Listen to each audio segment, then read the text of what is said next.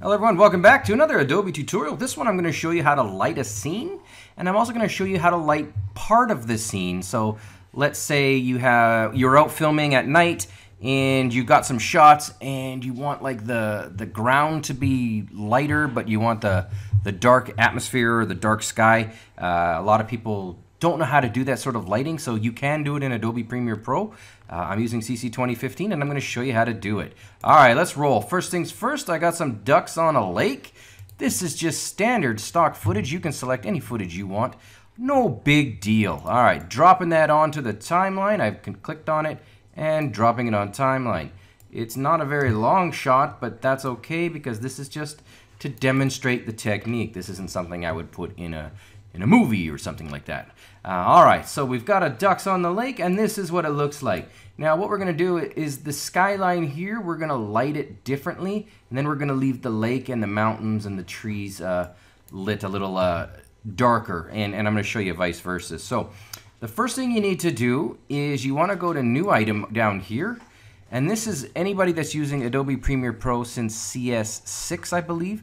This should be here. Uh, and then you want to create an adjustment layer. Bang, there we go. Just It's going to accept the same settings as your footage, which is fine. Now grab the adjustment layer that you've created and drop it on top of the ducks or whatever your footage is. I'm going to extend that out to the end so that they're both the same length. Now, this is where it gets fun. Now, the first thing you want to do is you want to add in an effect, and we want to light the whole scene to start. So go to your effects panel. Mine is located right here. If yours is not uh, showing up, just go to window and make sure the check mark is beside the effects. Video effects is where it's located, but for me, all I do is type in lighting, and here we go. it is under video effects, adjust lighting effects. Now click on it and very be very careful. Please apply it to the adjustment layer, not to the layer below. Uh, the reason why is the adjustment layer allows us to create all sorts of adjustments and if we don't like them, they're not applied directly to the footage. So they can basically be deleted and adjusted without messing with the underlying footage. Now you're going to notice that, well, that gives you a pretty weird spotlighty look and that is not what we want. So you want to go up to your effect controls right here. Drop down, you're going to see lighting effects and yeah, this is a kind of weird I don't know if that's like an oval shape. That's not what we want. So click on lighting effects. Now click on light one, drop down that triangle, and now you want to uh, move from spotlight to directional. When you do that, this scene is now lit completely differently. Let's do a quick look. I'll move it to the beginning. I'm going to turn the effects off. That is with it off that is with it on. For many people, that is all you need to do to add some light and get some of that dark footage that you thought you captured but you didn't capture. That might be all you need to do. We are going to go a step further in this, but if that's all you need, that's all you need. Great.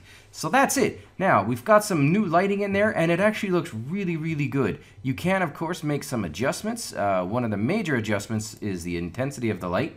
If you want it to be blown out, or if you want it to be darker, or even turn the lights off, because uh, that's what she said to me. Just kidding. Uh, this is the big adjustment. I'm gonna go with like, I'm gonna go with a brighter than normal. This is not normal um, what I would go for in a, in a movie or something like that, but this is just to demonstrate the technique that we're about to, to apply. Now, we've come this far, looks pretty good. You can, of course, go in there and make some adjustments if you want your light color to be something less than uh, pure white, go ahead and do that. Um, that's, of course, season it to your taste.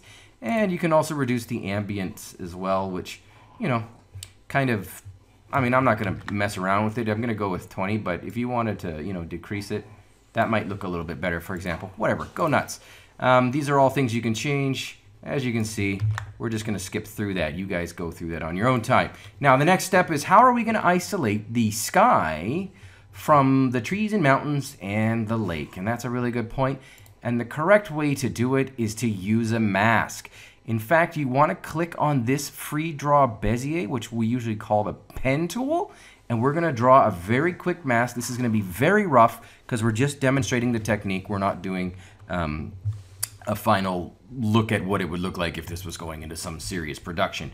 So I have clicked on this, oh shoot, I'm going to control Z. I have clicked on this mask I'm going to delete that. Sorry, I'm to start again. Click on this pen tool and we are going to start drawing that mask. Here we go. Click. Now, I'm going to go ahead and outside the lines because that doesn't matter. I'm going very quickly, very, oh shoot, nope, slow. Okay, you see what I'm doing guys? Yeah, I know, it's not perfect, but that's not the point. I'm just drawing a very quick mask and it's very, very quick because it's, uh, yeah, it's very finicky. I gotta move it in actually. I'm gonna go in a, oh yeah, yeah, dodo. Let's go to 75%. All right, I'm gonna move that back to here, and then I'm gonna go here, here. You see what I'm doing, guys? This is what you would do in a in a final shot, something like this. Um, but I'm just doing this really quick. Let's make a point there, and we're gonna make a point down here, point over here, point there, point here, point there. Okay, nice and quick, very rough. Now I'm getting near the edge of the screen, so I'm gonna just draw back here and then go to 25% so I can see the whole thing. And then I'm gonna make a point there. Go outside the lines like this, this doesn't matter. And then when you see the O, that closes it up. That is going to show us the effect that we are kind of going for. We are gonna make some changes to it, but you can already see that we've gotten kind of what we're looking for. We've clicked off of it. The top is dark and the bottom is a little bit lighter. Now, if you don't want that, if you want the top lighter and the and the other and, and the bottom darker, you can invert it with that button, which is whoa, that's a really cool effect. Let's go with that. You know what? That's what we're looking for, right? We've got a nice bright sunny sky and a dark mountainy ducky thingy going on. Whatever. This is just for demonstration. Now, obviously this is way off, but uh, again, you see what we're doing here. Now, when you click on the light, when you click on the mask part in me, now here's where you can start making some more cool adjustments. One of them is mask feather.